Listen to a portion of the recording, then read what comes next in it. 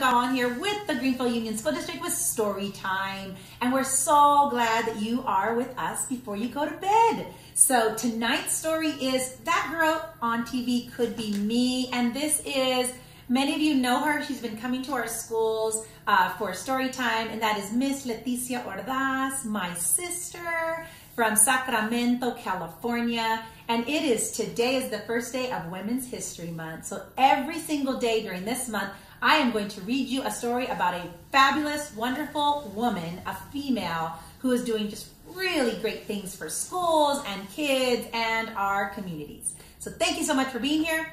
You are going to love this story. Hola comunidad de Greenfield, soy Superintendente Galván aquí con ustedes del sitio escolar de Greenfield, leyendo historias. So, gracias por estar aquí conmigo. Esta noche voy a leer una historia de mi hermana que se llama Leticia Ordaz. Ella es una reportera en la ciudad de Sacramento, California, y ella también es una autora. So, ella escribió este libro porque ella quería ver más gente como ella, mexicano, latino, en la tele. ¿Y por qué no, verdad? So, ella es la autora de esta historia. So, gracias por estar aquí conmigo. Todo este mes de marzo vamos a leer historias de la mujer. So, gracias por estar aquí. Okay, here we go. That girl on TV could be me. By Leticia Ordaz, illustrated by Juan Calle. In a small town in California called Galt, a five-year-old Latina watched the news. Her mommy said, Letty, turn off the TV, it's dinner time. It, I was that girl, and I asked my mommy, why doesn't anyone on TV look like me?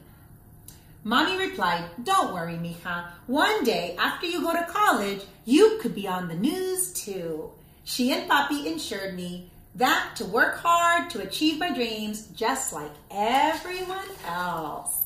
I wanted to be on TV, but I was the only, I was a shy girl in class. When my sixth grade teacher, Miss, Mr. Henrik, called on me to read aloud, I was very nervous. I spoke so quietly that my classmates shouted, Speak up, Leticia, we can't hear you.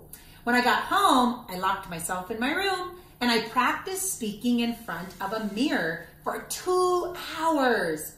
You can do this, I thought. The next time the teacher calls on you, you read out loud and you be proud. That's called self-talk. Uh, a lot of us do that when we kind of want to encourage ourselves. And I entered the Galt pageant Señorita Independencia de Mexico to celebrate my Latina culture. I wasn't a good dancer and I didn't win the contest, but I did make a lot of friends and I got awarded Miss Photogenic and a college scholarship. After Lorena returned, uh, graduated from Galt High School, she went to work.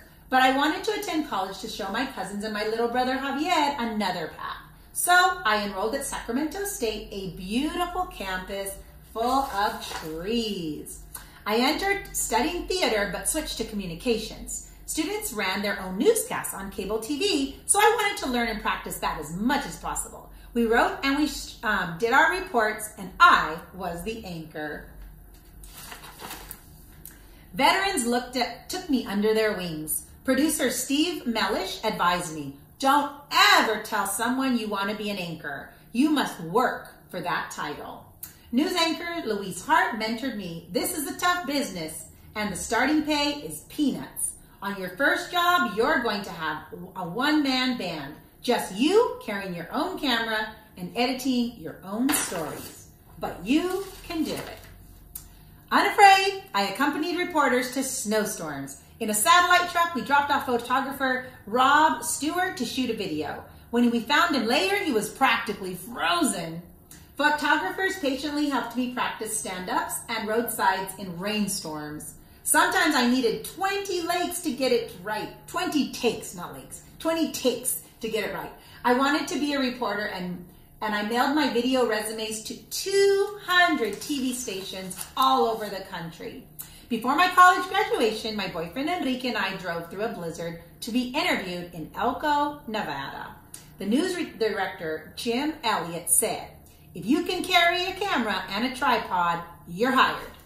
The equipment weighed 65 pounds, and I was only 95 pounds. But still I answered, yes, I can. I began my dream career making minimum wage at only $8 an hour. Just like my parents, I had to leave my hometown to achieve my dreams. Before Christmas, I became the first in my family to graduate from college. As I put on my cap and gown, tears of joy rolled down my parents' faces. They sacrificed so much to give us opportunity to do more with our lives. On New Year's Day, I left Elko. My parents drove me in a moving truck with my bed and belongings over the snowy Sierras.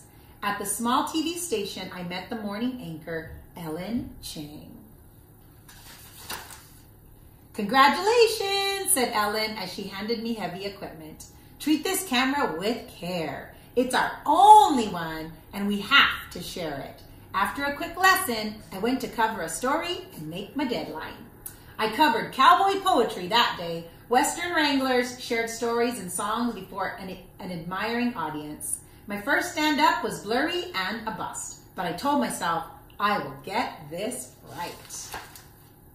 For more than a year, I wrote my own stories, shot video, prepared online interviews, did my own makeup, and edited my own reports. However, I was super homesick for California. My family, I missed them so much, and more than anything, I missed my mommy's flour tortillas. Just then, I got a call from Bakersfield. KGET news director Jack Bowe. He proposed, I can make you an offer plus a cameraman a cameraman to go with you on stories. This was my lucky day, and I accepted. My first story was a live shot covering a bear in my apartment complex. I remember meteorologist Ron Mayeta's advice. He said, if you don't have a script, keep it short, simple, and to the point, and describe what you are seeing. Next, I worked at the Fox station in Fresno. Once I was wrapped up by a snake at the county fair, covering honeybees at an almond orchard. They bit me. My photographer and I were bitten by a scourge of mosquitoes. After many years and long shifts of paying my dues, my dream finally came true. I became a reporter in my hometown of Sacramento Station on Channel 3. I was so glad to be back in my hometown with my family and friends. My most memorable stories involved animals and helping people. At a dairy farm, Big Lucy the cow splashed me with poop. Oh no. Then at the surfing park, a giant wave wiped me out on live TV. Happily, I did finally marry Enrique. After my seven years in the broadcast business, Enrique and I started a family.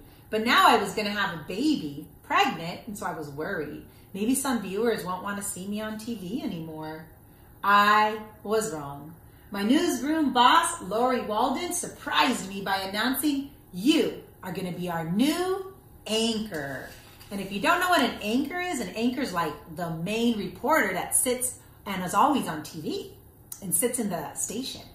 Now we have two little boys, Maxton and Bronx, and they see their mommy on the news, and it melts my heart every time they say, Mommy, we are proud of you for reading to the whole city. In 2018, my, for breaking news, I rushed to Butte County to cover the Camp Fire.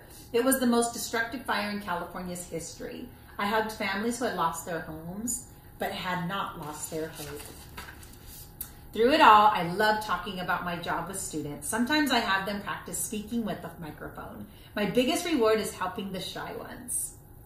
I tell them dreams can come true no matter the color of your skin or where you come from. You will face hardships, but you have to believe in yourself.